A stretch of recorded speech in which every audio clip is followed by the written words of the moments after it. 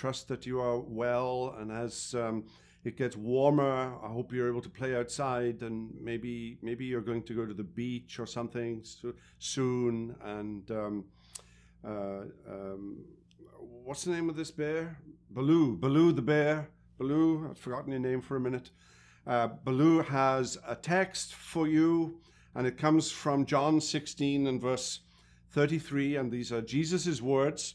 I have said these things to you that in uh, me uh, you may have peace. In the world you will have tribulation, but take heart, I have overcome the world. In the world you may have tribulation, but take heart, I have overcome the world.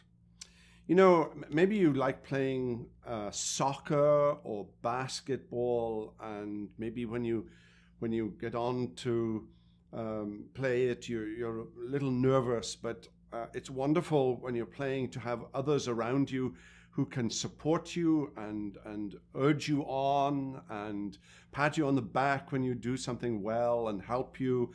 And uh, it's, it's wonderful to have friends like that. Um, and this verse is saying something very similar uh, that when we're afraid and when we're not sure, um, Jesus is with us and he has overcome the world. He has overcome every opposition.